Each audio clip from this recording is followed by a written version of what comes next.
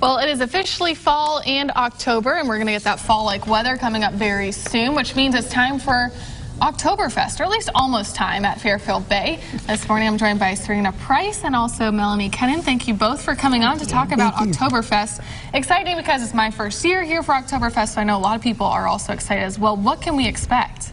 Well, we're uh, really excited about Oktoberfest this year at Fairfield Bay because we have so many new events Okay. and because we have so much to offer. We have a Kids Fest that um, our local merchants have sponsored. So all of the events there, like the Princess Carriage and the Clydesdale horses and buckboard and the Conway train, all these things will be free to the kids. Awesome. And there's lots of games there for them to play. We have two stages of entertainment with two different bands and other entertainment, and we have um, we have all kinds of things going on there. the exotic petting zoo. Oh, that'll be awesome. Lots of things Fun that for the kids and the children will parents. enjoy, and Yes. the parents. It, it's it'll be a real family event during the day. Awesome. And uh, then at night we'll have a band Okay. and uh, authentic German food. So it's all day long, It's essentially. all day Yes. long, from, From- 9 a.m. to 9 p.m. Is this a rain or shine event? yes, Yes, it it is. is. Okay. And what day is it on? It's on Saturday, October the 5th. Okay, so Yeah. We right want around the corner. Right, yes, yes. And Natalie said we're going to have great weather for that, and it's going to feel really more like a great Oktoberfest Oh, that's fall wonderful. event.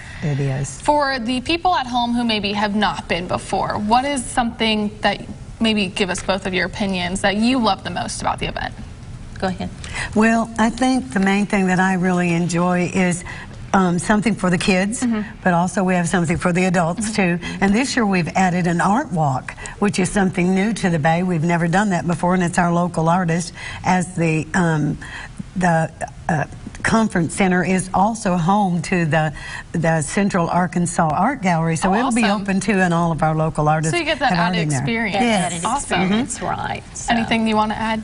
It ought to be a great time for everybody. Uh, we have uh, Marty the Balloon Man from America's Got Talent that's coming in, and so the children will enjoy that as well as the the bands and music and the Volksmarch where they can follow the marching band. So Well, thank you both for coming for coming in and sharing your personal experiences. I'm excited to go this weekend. It's going to be great weather. Oh, More yeah. importantly, something family and friendly for the kids Yes. and the adults Right. again. So again, that's going to be October 5th.